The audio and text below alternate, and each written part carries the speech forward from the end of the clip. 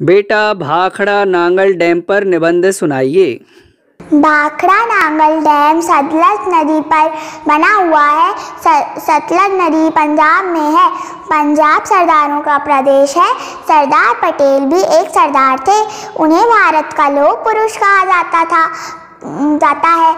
लो, लोहा टाटा में बनता है। टाटा हाथ से किया जाता है। कानून के हाथ बड़े लंबे होते हैं। पंडित जवाहरलाल नेहरू कानून जानते थे। उन्हें बच्चे चाचा नेहरू कहते थे। चाचा नेहरू को गुलाब बहुत पसंद था। गुलाब तीन तरह के होते हैं। गुलाब का शरबत, गुलाब का फूल और गुलाबरी। गुलाबरी मीठ, मीठा होता है। मीठी चीनी होती है। चीनी चीटी खाती है। हाथी चीटी से नफरत करता है। हाथी का हाथ मज़बूत होता है। पंजाबी भी बहुत मज़बूत होते हैं। पंजाबी पंजाब में रहते हैं। पंजाब में भी फाकड़ा नांगल डैम है।